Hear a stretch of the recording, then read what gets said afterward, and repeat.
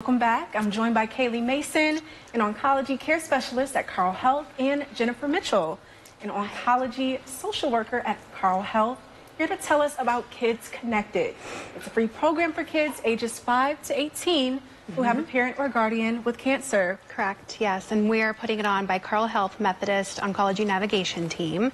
And um, it's for any children or child, excuse me, 5 to 18 who has a parent, guardian, uh, caregiver, family member diagnosed with cancer, and it's just a way for them to come cut loose and make positive memories with their loved one.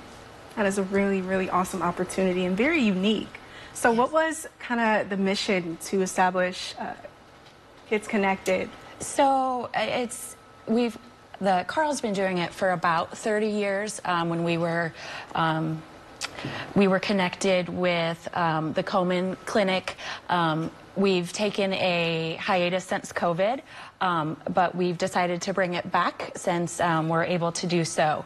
Um, so we're, we're very excited to have this we back um, and to have an outlet for our kids in the community that have a caregiver or a loved one that is affected with cancer. I know you have a personal tie to this mission. Would you like to share anything about it? Sure. Um, most of our team, if not all, has had someone with a cancer diagnosis close to them. I personally um, went through my childhood. My mother had um, brought in her mom to care for during her cancer journey, and I didn't have any resources to help me express my emotions um, or just kind of walk me through the journey that I was experiencing. So this is um, something that I think is very important to our community, but also uh, something we believe very strongly about. That is amazing. We're going to have um, quite a few activities for the kids, things that they can also take home with them. Um, they can be cancer fighters, where they can have bubble wands and stomp on the stomp on the bubbles, to, like a chemotherapy type.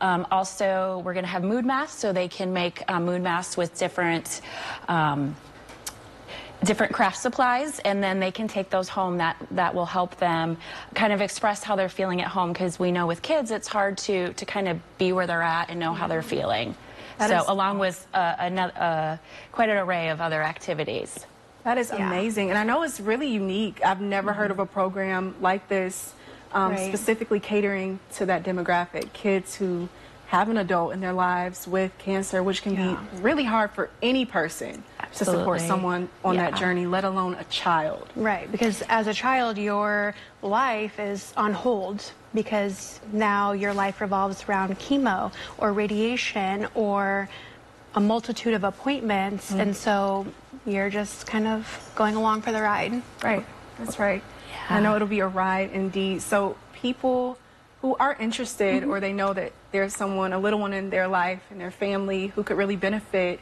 what would be their next steps? So they can reach out to myself. Um, it's jennifer.mitchell at carle.org. They can email or they can call us directly at area code 309 672 4762. Um, we do ask for an RSVP just so we can plan um, accordingly. All right, this sounds like yeah. a plan. And thank you so much for thank sharing. You.